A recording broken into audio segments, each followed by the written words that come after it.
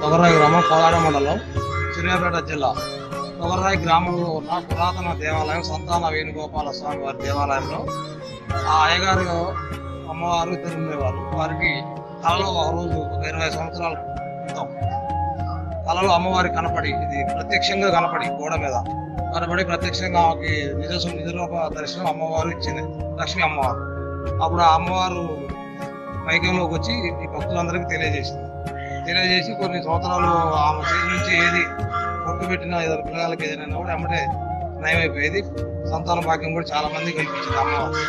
ఆ అమ్మవారు తదనంతరం మరి ఇప్పుడున్న స్వామివారు గురునాథం గురునాథం గారని ఆయన ఒంటి మీదకి వచ్చి నా గురి కట్టాలి ఆయన అంటే అప్పుడు ఆ అమ్మవారు పేరు మీద ఊర్లో గ్రామ పెద్దలు అందరూ సహకార సహాయ సహకారంతో ఇప్పుడు ఇరవై సంవత్సరాల పైన నుంచి కూడా గ్రామ పెద్దలు మొత్తం ఇంటికి ఇంతని డబ్బులు వసూలు చేసుకొని అదే తొగరాయి గ్రామం నందు వేణుగోపాల గుడి పక్కన పక్కన ఒక దేవాలయం కట్టాలని మొత్తం పూనుకున్నాం.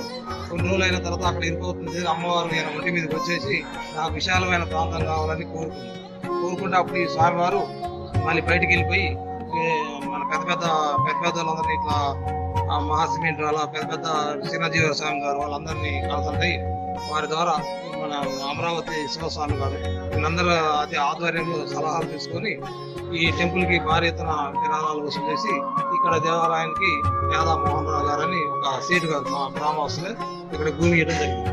భూమి ఇచ్చినాక ఈ ప్రజల సహాయ సహకారాలతో ఈ గ్రామ పెద్దలందరూ కలిసి ఈ గుడి నిర్మాణం జరిగింది. మొత్తం ఈ స్వామివారి గురునాథం గారి ఆధ్వర్యంలో జరిగింది.